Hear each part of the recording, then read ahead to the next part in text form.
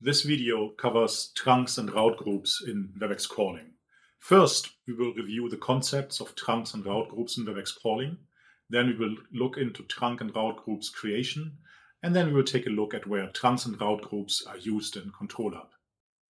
Trunks and route groups in Webex calling are used to link Webex calling to either on-premises call controls or to existing on-premises PSTN connections. Trunks from Webex calling terminate on an on-premises local gateway running on Cube. A trunk has to be assigned to a location. It's important to note that for a trunk to be fully operational, the main number of that location has to be set. Route groups deliver scale and redundancy for trunks. Up to 10 trunks can be grouped together in a route group. Each trunk in a route group has a priority and calls to a route group are distributed randomly to trunks of the same priority, starting with 1 as the top priority. Fallback to the next priority only occurs if all trunks of higher priority are unavailable.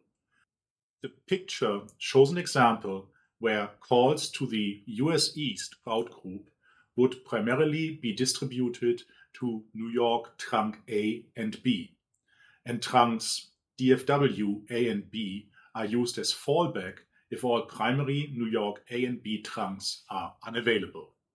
To create a trunk, I navigate to the calling section and there select the call routing tab where I find the trunks page. As you can see here, we already have two trunks in this setup.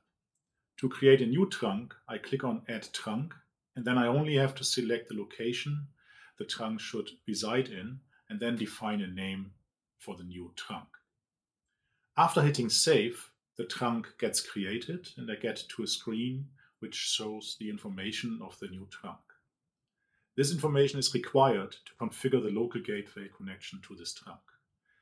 You need to make sure to take note of the username and password, which are used as the digest credentials when configuring the trunk.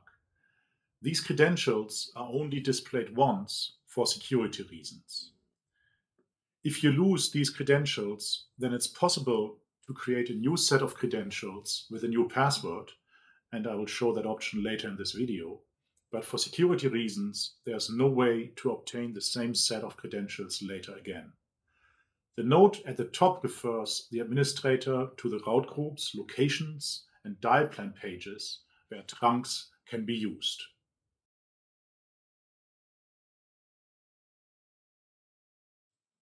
I now want to create a route group which I want to use as PSTN for my Hartford location later.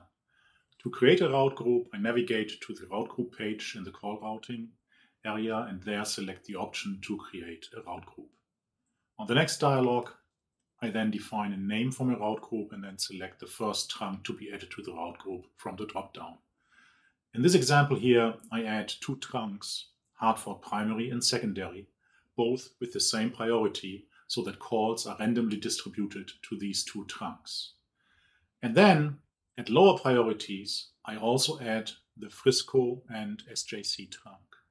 As you can see, the trunks within the route group are displayed in order from highest to lowest priority. I then click Save to finish route group creation. To assign a route group as premises PSTN choice for a location, I select the location from the list of locations and then select the option to manage the premises PSTN choice of that location. The routing choice dropdown allows me to select any of the existing trunks or route groups. In this case, I select the route group I just created. I then have to confirm that the change will take immediate effect. You need to make sure that especially porting of numbers, if needed, has to be completed before you update the PSTN selection. Notice that below the PSTN choice dropdown, we can now see which trunks are part of the route group that is selected.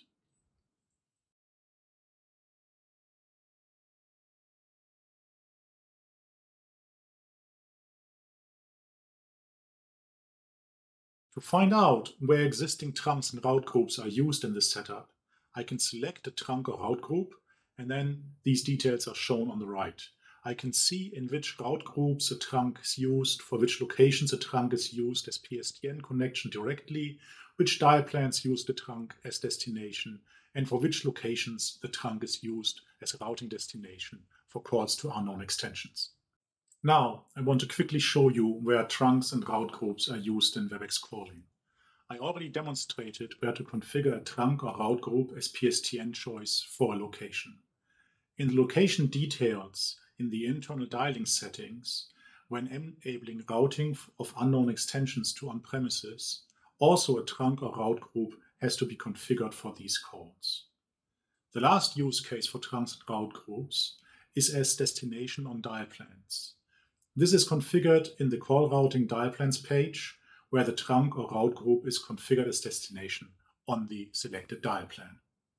The digest credentials of a trunk can be recreated from the trunk details view by selecting Manage in the Details section.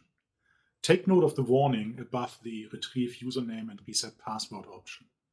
Basically, as soon as a new set of credentials is created, the old set of credentials becomes invalid and thus connectivity will be interrupted until the local gateway configuration is updated with the new set of credentials. Before actually creating a new password, another warning message is displayed which has to be acknowledged. Make sure to copy the new username and password from the authentication information window and save them.